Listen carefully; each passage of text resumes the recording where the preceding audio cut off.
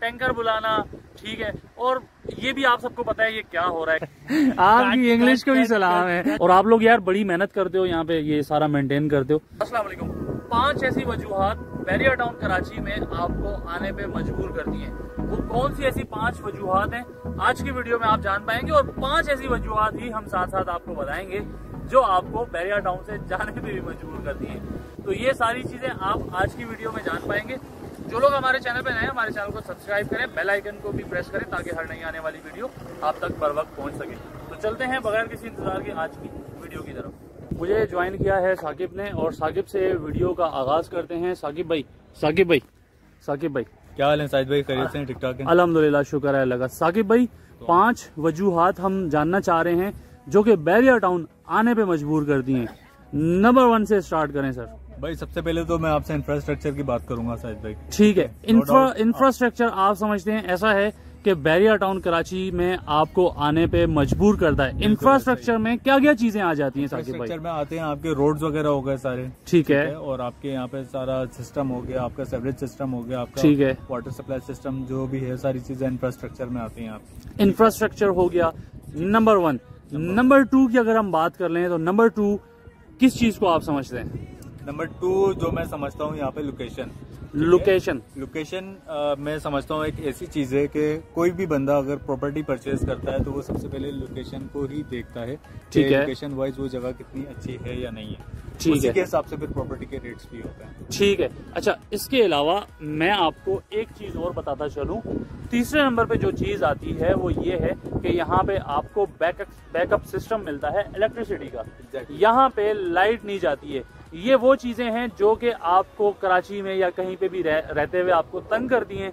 तो इन सब वजूहत को लेके आप बैरिया टाउन फ़ौरन से पहले आने का सोचते हो क्योंकि बैरिया टाउन कराची में लाइट बिल्कुल भी नहीं जाती है।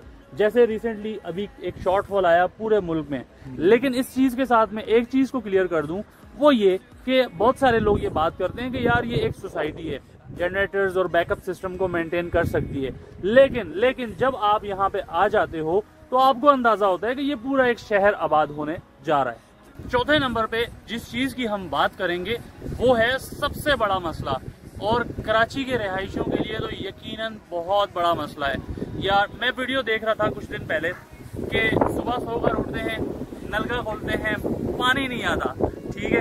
पानी का बड़ा, इतना बड़ा मसला है कि ये हम जितनी ऊपर बात करें, कम है। तो बैरियर टाउन कराची में आप जब भी अपने घर का नलका खोलेंगे तो आपको उसमें पानी मिलेगा। चाहे आप स्पोर्ट सिटी विलास में रहते हो, चाहे आप रहते हो प्रेजेंट वन के विलास में, चाहे आप रहते हो बैरिया के अपार्टमेंट्स में। पानी वो वाहिद चीज़ है वाहिद तो नहीं, और भी बहुत सारी चीज़ें पानी पानी के बगैर आप बिल्कुल भी नहीं रह सकते हैं। कुकिंग के लिए पानी का इस्तेमाल, मेरे कैमरा मैन मुस्कुरा रहे हैं। आई एम सॉरी अच्छा सॉरी अच्छा पानी का इस्तेमाल जो है ना, पानी का इस्तेमाल आपको हर वक्त चाहिए होता है। लेकिन लेकिन लेकिन जब आप कराची में जाते हो ना, यार वहाँ पे आपको जो, हम खुद बेसिकली हैं कराची से, मैं अपनी प्रीवियस वीडियोस में बात कर चुका हूँ, लेकिन वो पानी का ख़त्म हो जाना, फिर टैंकर बुलाना, ठीक है, और ये भी आप सबको पता है ये क्या हो रहा है कराची में। आप किसी महँगे से महँगी जगह पे भी रहते हो। इवन के आप समय, मैं मैं किस सोसाइटी का नाम लूँ। वहाँ पे भी आपको टैंकर मंगाने पड़ते हैं। समंदर किनारे आप बैठे हो, लेकिन मंगाने पड़ते हैं आपको टैंकर। लेकिन भाई, बैरिया में जो लोग कहते हैं ना भाई, बहुत दूर है। बैरिया टाउन, कराची हाईवे पे कौन जाएगा इतने दूर रिहाइश करने के लिए? तो भाई, यहाँ पे जो लोग आते हैं ना, वो इन सारी परेशानियों से भी बचे हुए होते हैं। यहाँ पे पानी का कोई मसला नहीं है। पानी इतना है कि आप दिन में तीन दफ़ा भी आप शावर ले सकते हैं। दिन में तीन मरतबा, चाहे सर्दियाँ हो या गर्मियाँ हो। ये एक अलग मसला है। कि आप यहाँ पे जो गीज़र इंस्टॉल करते हो, वो आपको इलेक्ट्रिक गीज़र इंस्टॉल करना पड़ता है, क्योंकि यहाँ पे अभी गैस की सप्लाई नहीं है। आप एज जैसे कि मैं पहले वीडियोस में बता चुका हूँ कि यहाँ पे सिलेंडर्स का इस्तेमाल होता है और जो गीज़र है, वो आप सिलेंडर के ऊपर इस्तेमाल नहीं कर सकते हो। बैरियर टाउन इस चीज़ की परमिशन आपको नहीं देता। तो आपको इलेक्ट्रिक गीज़र इस्तेमाल करना पड़ता है। तो ये हो गई चार चीज़ें। पांचवी चीज़ जो है हमारी, वो जो है बैरियर टाउन कराची को बहुत खूबसूरत बनाती है। आप अगर किसी पेशेंट में इंटर होते हो फॉर एग्जांपल 500 गज का प्लॉट है तो वहाँ पे आपको जो है डिफरेंस नज़र आता है बाहर का और बेरी टाउन का वो डिफरेंस क्या होता है वो मैं आज आपको बताऊँगा, वो डिफरेंस क्या होता है। डिफरेंस ये होता है कि यहाँ पे आपको जो विलास मिलेंगे, वो एलिवेशन आउटर एलिवेशन तो चेंज होगी, लेकिन वो आपको ग्राउंड प्लस जो अप्रूवल बेरिया की तरफ़ से मिली हुई है 500 स्क्वायर यार्ड पे, उसी स्क्वायर यार्ड पे आपको जो है अप्रूवल के मुताबिक आपको उसके फ्लोर्स नज़र आएँगे। ऐसा नहीं है कि एक घर जो है चार मंजिला बना हुआ है उससे अगला घर जो है दो मंजिला बना हुआ तो यहाँ पे जो ये आइडियाज़ का लिया गया, ये गल्फ की तर्ज पे लिया गया। यार, वीडियो का स्टार्ट जब हमने लिया तो हमने बोला था सिर्फ़ पाँच ऐसी वजूहत हैं। लेकिन जब हमने, अभी हम वीडियो बना रहे हैं तो मैं और साकिब ये बात कर रहे हैं कि यार, पाँच वजूहत तो हैं ही नहीं। वजूहत तो बहुत सारी हैं। फिर आपको जो ये बैरिया टाउन ने हर प्रीसेंट के अंदर, हर प्रीसेंट के अंदर जो मस्जिद बनाई है, मस्जिद, सही है? मस्जिद बनाइए आपको वॉकिंग डिस्टेंस पे एक बहुत ही शानदार किस्म की मसाजिद मिल जाती हैं। फिर जैसे कि हम इस वक्त मौजूद हैं ये जो फ्लैग पोल की लोकेशन है इस तरह के पार्क्स जो बैरिया टाउन बनाता है जगह जगह के ऊपर। तो ये इसके ऊपर मैंने ये चीज़ नोट की कि बहुत ज़्यादा अच्छा जो है ना बैरिया ने फोकस किया है ये यही मैं भी अर्ज़ कर रहा हूँ कि यार ये चीज़ें भी आपको मजीद अट्रैक्ट करती हैं कि आप बैरिया टाउन कराची कल नहीं आज ही आ जाओ। अच्छा ये इस वक्त हम मौजूद हैं बैरिया टाउन कराची हिल्स में और ये ये एक हमारे दोस्त हैं जो कि नाराज़ हैं। इंतहाई खूबसूरत जगह के ऊपर चौधरी साहब बैठे हैं। चौधरी साहब अस्सलाम वालेकुम। चौधरी साहब क्यों नाराज़ हैं आप? जी मैं नाराज़ हो सकता हूँ आपसे। नहीं तो ये इतनी क्या बैरिया की खूबसूरती में खो गए हो? क्या है? बस ऐसे ही धूप ज़रा मज़े की लग रही थी तो मैंने कहा हवा भी है और धूप भी तो काफ़ी अच्छा मौसम बना हुआ है। हवा बहुत तेज़ है यार। पानी का दूसरा रुख भी अब हम आपको बताने चलते हैं कि कौन सी ऐसी पाँच वजूहत हैं जिनको जानने के बाद आप फ़ौरन फिर यहाँ से जाने का भी सोचते हैं। तो सबसे पहले नंबर पे जो बात आती है वो ये है कि यहाँ पे जो लोग बहुत जल्दी जल्दी में यहाँ पे मूव हुए, उसके बाद उनको अंदाज़ा नहीं था कि यहाँ पे वो किस तरीके से जो यहाँ की यूटिलिटीज़ हैं या मेंटेनेंस हो गई या ये सारी चीज़ें हो गई क्या वो इन चीज़ों को बर्दाश्त कर सकते हैं या नहीं कर सकते हैं। बहुत सारे लोगों ने क्या किया उन्होंने वो ये समझते रहे कि यार, बीस, पच्चीस पच्चीस हज़ार रुपये में आपको एक अपार्टमेंट मिल जाता है। लेकिन उसके साथ साथ फिर उसकी मेंटेनेंस मेंटेनेंस भी होती है, साथ में आपको मेंटेनेंस देनी पड़ती है। दूसरी चीज़ ये है कि आपको जो ग्रॉसरी यहाँ से आप लेते हो, ज़रूरी नहीं है जो चीज़, जो रेट्स आपको कराची में जो मिलते हैं, वही सेम यहाँ पे मिलते हों। कोई इम्तियाज़ सुपर स्टोर है वहाँ पे आपको सेम प्राइस में सारी चीज़ें मिल जाती हैं लेकिन हर बंदे के पास एट अ टाइम गाड़ी नहीं होती कि वो गाड़ी निकाले और इम्तियाज़ तक जाए। तो जो करीबी मार्ट है वो वहाँ से जाके फिर अपने लिए चाहे वो महँगी हो या सस्ती हो फिर वो चीज़ें वो परचेज करते हैं। तो ये चीज़ें बहुत सारे लोगों को नागवार गुजरी और फिर उन लोगों ने जल्दी जल्दी यहाँ से जाना ही मुनासिब समझा। नंबर टू दूसरे नंबर पे जो चीज़ आती है बहुत सारे लोग जो कि कराची में जॉब करते हैं आ, कराची में उनका काम है या जो चीज़ भी है तो उनके लिए डेली रूटीन में आना जाना बहुत ज़्यादा मुश्किल होता होता था। होता कुछ यूँ था कि सपोज़ करें कि किसी दिन गाड़ी इंसान के पास नहीं भी होती तो फिर हालाँकि बैरिया टाउन कराची की ट्रांसपोर्ट बिल्कुल यहाँ पे वो देता है, लेकिन उसकी एक टाइमिंग है। अब हर इंसान की जॉब्स की अपनी अपनी टाइमिंग होती है। तो फिर वो ज़रूरी नहीं है कि इन सब चीज़ों से मैच होती हो। तो इसलिए फिर बहुत सारे लोग ऐसे थे जिनकी जॉब टाइमिंग्स की वजह से उनको यहाँ से जाना पड़ा। ये तो हो गई दो चीज़ें। अच्छा अगेन अच्छा चोई साहब उठ गए। ठीक है। तो एक सबसे बड़ा मसला जो कि कराची के रहायशियों को सबसे ज़्यादा जो प्रॉब्लम यहाँ पे फेस करना पड़ी, वो ये कि स्कूलिंग स्कूलिंग एक ऐसा मसला है कि आप अपने बच्चों के लिए इस चीज़ पे किसी किस्म का भी कॉम्प्रोमाइज़ नहीं करते हो। बैरियर टाउन में आपको सिर्फ़ दो स्कूल मिलते हैं, बैरियर टाउन के अंदर। उन दो स्कूल्स में अब हर इंसान फीसिस को बर्दाश्त नहीं कर सकता। यहाँ पे फीसिस थोड़ी सी ज़्यादा हैं एज़ कंपेयर टू सिटी में जो आपको स्कूल्स के अच्छा ऑप्शन जब बहुत सारे मिलते हैं तो फिर आपको लाजमी सी बात है, आपके पास चॉइस होती है तो यहाँ पे लोगों के पास चॉइस बिल्कुल भी नहीं थी, ठीक है?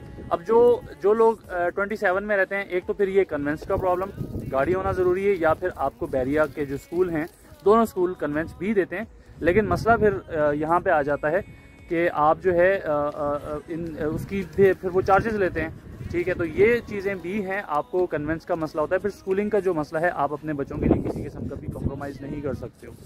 तो ये तो आ गया तीसरा बड़ा मसला। बस कर दो भाई बस कर क्यों बस क्यों करूँ? अच्छा भाई तीन मसले तो मैंने बता दिए तीन। तीन जो कि आपको कराची से बैरिया से फ़ौरन वापस जाने पर मजबूर करते हैं। अच्छा। ठीक है? अब एक पॉइंट आपने बताना है मुझे। बाबू जल्दी जल्दी बताते हैं आपने कौन कौन से भाई मैं नहीं बताऊँगा ना आप बताओ। आप आपकी नज़र में वो कौन सा पॉइंट है? यही तो हमारी वीडियो का फ़ायदा होता है ना यार हम कोई स्क्रिप्ट नहीं लिखते हैं हम हम बस कैमरा खोलते हैं और अपने जो दिल से निकलता है वो हम अपने व्यूअर्स को बताते हैं। क्योंकि हमने यहाँ पे एक्सपीरियंस किया हुआ होता है ना यार। यार सही बात तो ये है कि दिल से तो कुछ बुराई निकलती ही नहीं है।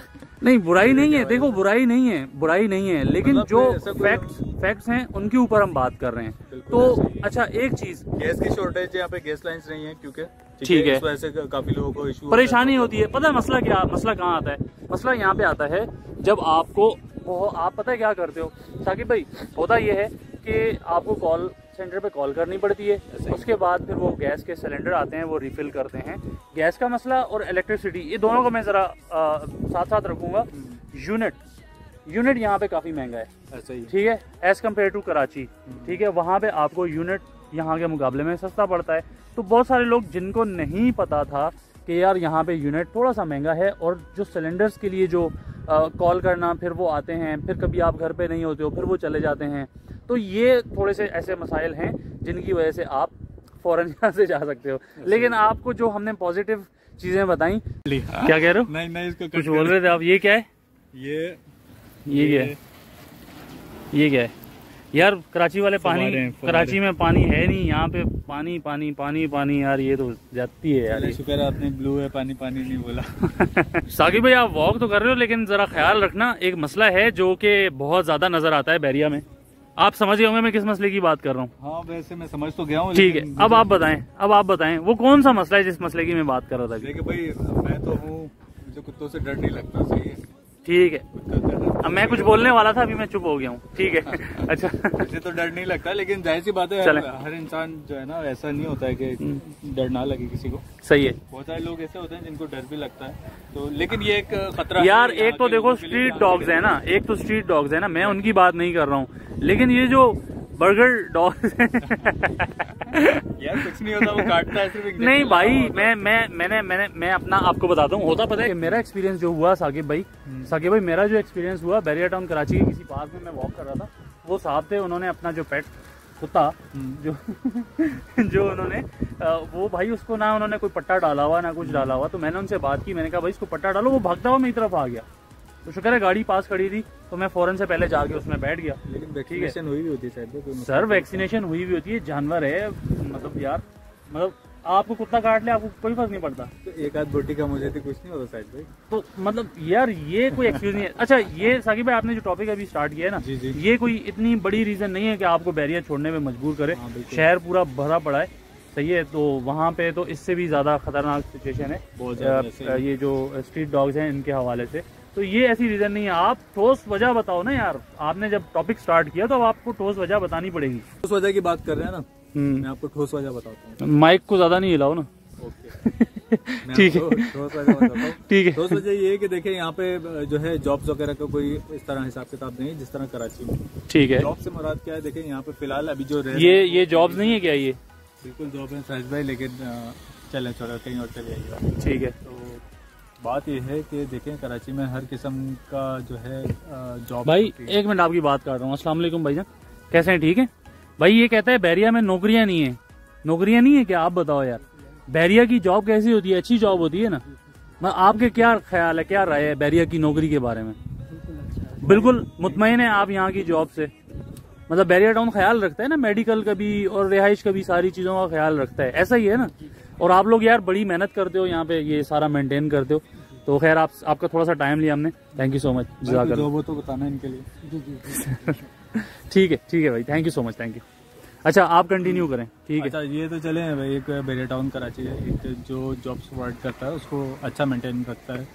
तमाम चीज़ें जो भी है अच्छा एंटरटेन करता है मेंटेन करता है ठीक है। आपकी इंग्लिश को भी सलाम है। A few moments later. कोई कट नहीं है।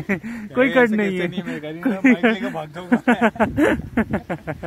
चलो चलो चलो ठीक है कंटिन्यू कंटिन्यू देखें शाहिद भाई वो आपकी बात बिल्कुल सही है लेकिन कराची में जिस तरह फैक्ट्रीज हैं जिस तरह कमर्शियल एरिया है इंडस्ट्रियल हब नहीं है यहाँ पे कुछ। एरिया है यहाँ पे वो सारी चीज़ें फ़िलहाल नहीं है।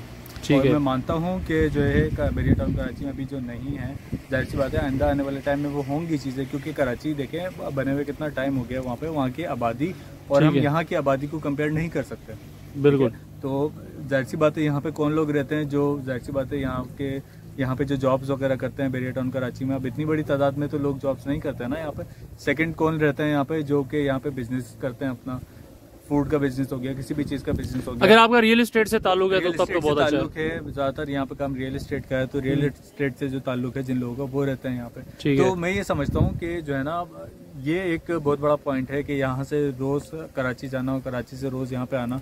मुश्किल है। ये ये खैर मैं ये डिस्कस कर चुका हूँ। टू बी ऑनेस्ट मैं आपको बताऊँ मैंने जब ये जानने की कोशिश की कि यार यहाँ पे क्या क्या ऐसे वजूहत हैं जो आपको बैरिया छोड़ने में मजबूर करें लेकिन सच्ची बात है यार बैरिया को आपका छोड़ने का दिल नहीं करेगा बिल्कुल भी नहीं करेगा बैरिया को छोड़ने का। आप यहाँ पे बहुत अच्छा लाइफस्टाइल गुजार सकते हो बहुत अच्छा लाइफस्टाइल ये थी हमारी आज की वीडियो। इंशाल्लाह ताला एक दफ़ा फिर नेक्स्ट वीडियो में दोबारा आप सबसे मुलाकात होगी। आज मैंने कोशिश की कि आपको पाँच वजूहत आने और जाने की दोनों बता सकूँ। तो इंशाल्लाह ताला एक दफ़ा फिर नेक्स्ट वीडियो में दोबारा आप सबसे मुलाकात होगी। साकिब भाई आ जाएँ बैठ जाएँ। तो तब तक के लिए अपने होस्ट सैयद साजिद हुसैन शाह और मेरे दोस्त साकिब मोहम्मद साकिब खान को इजाज़त दीजिए। Allah Hafiz. Allah Hafiz. The storms we chase are leading us.